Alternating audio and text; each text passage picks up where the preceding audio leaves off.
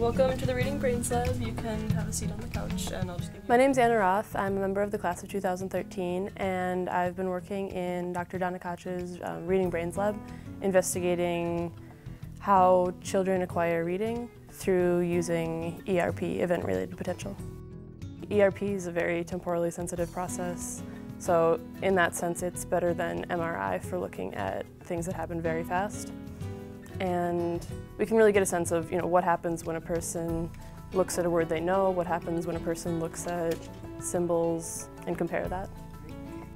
The age groups that we're looking at with this study are third grade, fourth grade, and fifth grade. And we're sort of investigating what's called the fourth grade shift, which is the shift from learning how to read to understanding what you're reading. So like we talked about earlier, we're just going to put on this cap and in any experiment that you run, you want to have a control group. And for us, our college students kind of show us what we should be looking for in students that have already developed reading skills. That teaches us how we, how the study runs, how subjects react to it, um, and kind of shows us what we should be looking for in a mature reader.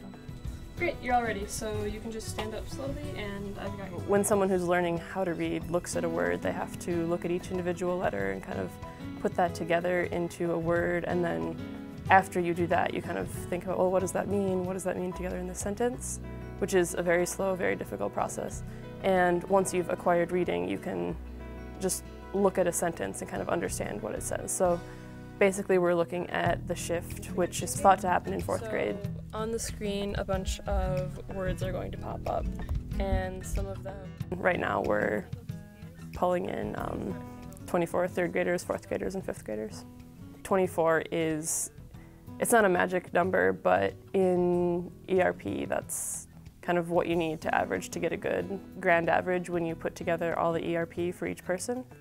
And then you kind of see in this group, in third graders, what what is happening when third graders in general look at this. And you average together each person's average, and then you get a grand average of the group.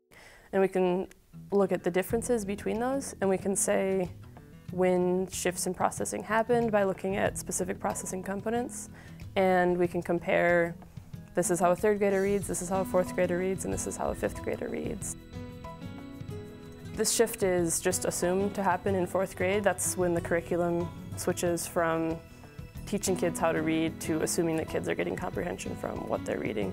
So this has really important implications for educational policy because if we find that this isn't happening, then fourth graders should still be learning how to read.